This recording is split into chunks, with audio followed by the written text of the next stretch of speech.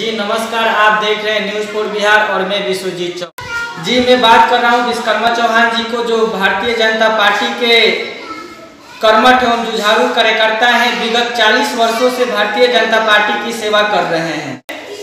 Bharatiya Janata party के कार्यकर्ता हो या किसी भी राजनीतिक दल के कार्यकर्ता हो, चुनावी की तैयारियों में लग चुके हैं। आइए हम जानते हैं विश्वकर्मा चौहान जी से कि इनकी आगामी विधानसभा की जो चुनाव की तैयारी चल रही है, क्या फोकस है और किस ढंग से यहाँ सिवान ज़िले में तैयारी कर रहे हैं? जी सर, न्यूज़ पर बिहार में आपका स्वागत है।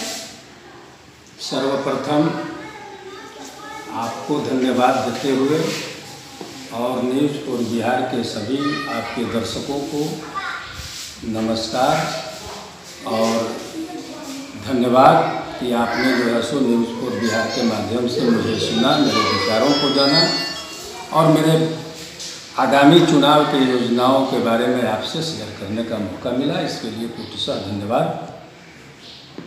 जी थैंक यू सर अभी चुनाव की सरगर्मी है और भारतीय जनता पार्टी के यहाँ सिवान ज़िले में आपकी विधानसभा है। आठों विधानसभा के लिए भारतीय जनता पार्टी के नेता लोग जो है सो अपने अपने क्षेत्र के लिए तैयारी कर रहे हैं। और पार्टी में जो है सो अपना गुहार लगा रहे हैं कि हमको उम्मीदवार बनाया जाए। उसी कड़ी में हम भी हैं। मैं भारतीय जनता पार्टी से 40 वर्षों से जुड़ा हूँ।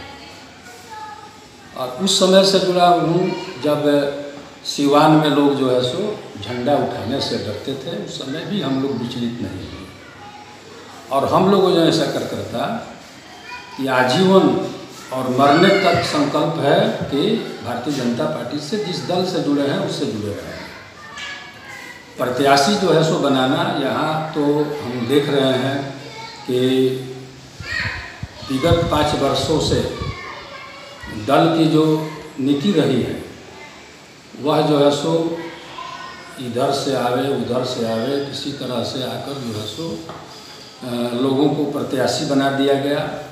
विगत चुनाव के 2005 के चुनाव में, अरे 2015 के चुनाव में, जो मेरा अपना अनुभव है कि टिकट वितरण के कारण ही उस समय एनडीए सिवान ज़िले के आठों सीटों पर काबिज थी। 2010 में आठों सीटों पर काबिज थे। टिकट के बंटवारे के चलते हम जो है सो सात गंवा चुके, मात्र एक बच गए। मेरा पार्टी से अनुरोध होगा, मैंने भी अपने लिए आवेदन राष्ट्रीय अध्यक्ष, प्रदेश अध्यक्ष और जितने भी पार्लियामेंट्री बोर्ड के चेयरमैन को भी अपना आवेदन और बायोडाटा भेज दिया। और मैं निवेदन करूँगा आपके माध्यम से। सर भारतीय जनता पार्टी नेतृत्व को मैं निवेदन करूँगा कि टिकट वितरण को सूझबूझ से सुलझाया जाए। बहुत वेदना होती है।